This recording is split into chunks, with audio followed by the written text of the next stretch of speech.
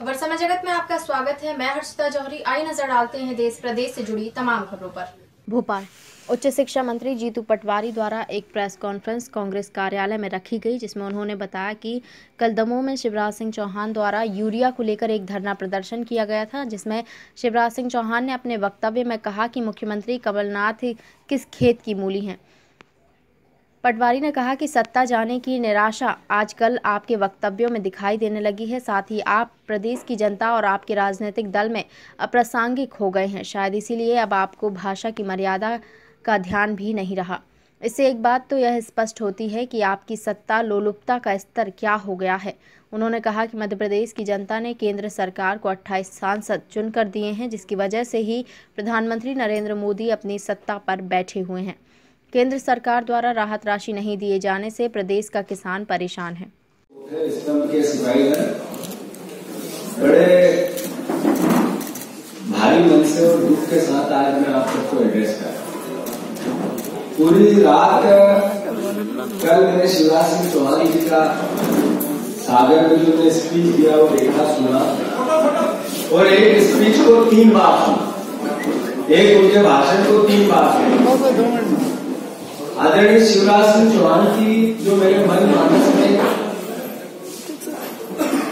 उनकी जो प्रकृति थी, उनका जो व्यक्तित्व का दृष्टिकोण था, वो एक विनर्म और हार्ड वर्कर एक इंसान के भाव से भरा हुआ था।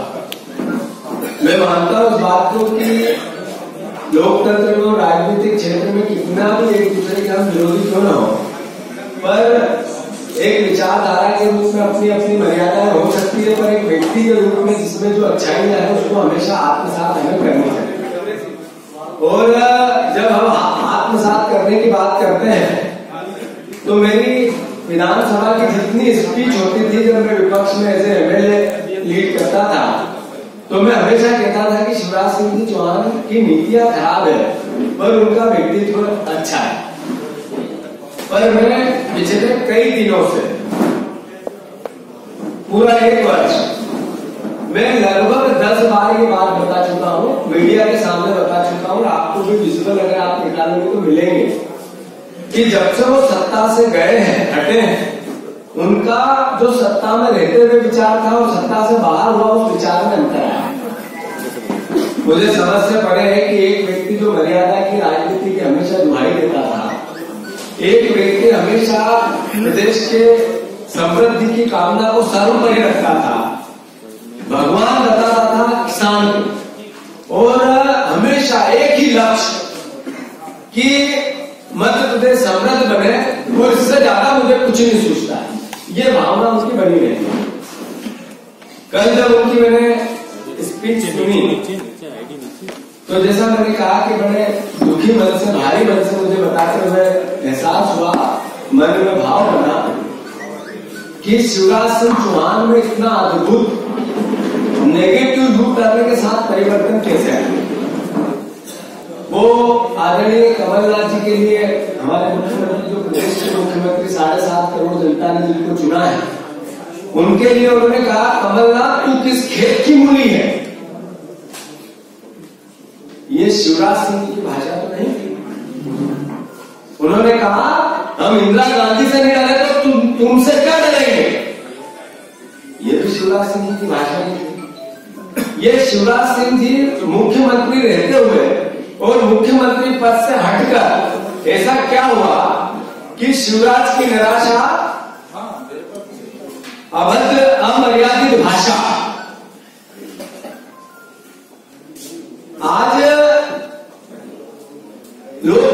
लोकतंत्र विरोध करना, और विपक्ष का विरोध करना।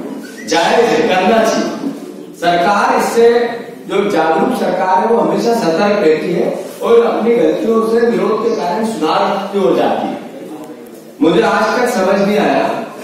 शिवराज सिंह चौहान पहले ओला पाला के लिए ध्यान मंजिले बजाते थे, रात में कीर्तन करते थे, तब भी मैंने प्रेस कॉन्फ्रेंस करी थी और कहा कि शिवराज सिंह जी, आप जब सत्ता में थे तो आपने मनमोहन सिंह जी के खिलाफ आंदोलन मुख्यमंत्री रहते हुए।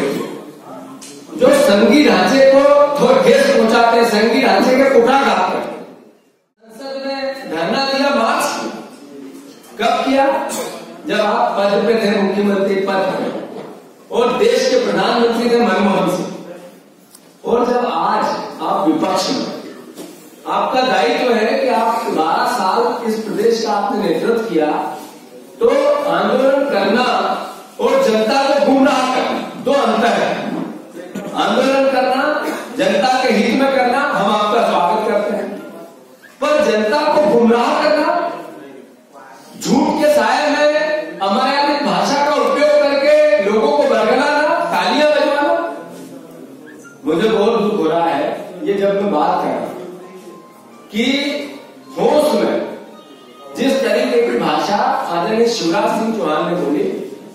वैसे ही नशे की हालत में। व्यापम के आरोपी। जो एक वीडियो वायरल हुआ, हमने देखा। इस प्रदेश के पूर्व मंत्री। शर्मा जी, क्या नाम था लक्ष्मीकांत शर्मा जी। उन्होंने साधना भागी के लिए जो शब्दों का उपयोग किया, क्या इसमें और उसमें एक एकजुटता नहीं दिखती है? हम हम उसका भी विरोध करते हैं। एक कांग्रेस के व्यक्ति ने वक्तव्य कहीं लीड नहीं किया। किसी प्रेस कॉन्फ्रेंस में नहीं लिया कि एक नशे की हालत में आपका वो मंत्री जो साधना भाभी को राखी माँगता, साधना भाभी से राखी बनवाता। और बाद में वो कहता है कि इससे भ्रष्ट महिला मैंने मेरी ज़िंदगी में नहीं देखी। हम इसकी निंदा करते हैं जो उसने बोला पर आपका जो वक्तव्य और इस वक्तव्य में कितना अंतर दिखता है बताओ मुझे वो तो नशे में बोल रहा है आप होश में बोल कि किस खेत की मूली है कमलनाथ कमलनाथ उसी खेत की मूली है शिवराज सिंह जी जिस खेत की मूली आपने साढ़े सात करोड़ जनता ने वोट दिया था और बारह साल आप साढ़े बारह साल मुख्यमंत्री रहे मुझे दुख हुआ, बड़ा हताश और निराशा मन से। और रोज गुस्से से घृणा, शिवराज सिंह जी से अनुरोध करता गुस्सा इस बात का कि उनकी भाषा में अमर्यादा है और दुख इस बात का कि शिवराज सत्ता में रहते थे जब अलग थे और अब बदल तो गए तो मैं कुछ तथ्यों की बातें भी आपसे करना चाहता कि शिवराज सिंह जी हमेशा प्रश्न उठा और सरकार को क्रिटिसाइज करते पर एक पक्ष वो बताते हैं, दूसरा पक्ष छुपा लेते हैं। अब उन्होंने यूरिया को लेकर गिरफ्तारी दी और कहा कि सही समय पे सरकार जाती तो यूरिया का संकट नहीं आता। मैं सरकारी सकते हैं और वो मध्य प्रदेश शासन की तो है ही है। पर देश के ऊपर मंत्रालय की साइट पे हमारी डिमांड कब गई, कैसे गई, कब आवंटन होना था, कब किया, कितना रोका, ये सब हुआ। मैं आप सबके माध्यम से अनुरोध करना चाहता हूँ शिवराज सिंह चौहान को। खबर समय जगत के लिए कैमरामैन अमन खान के साथ संवाददाता शक्ति भारती, भोपाल। देश प्रदेश से जुड़ी तमाम खबरों पर रूबरू रहने के लिए देखते रहिए खबर समय जगत।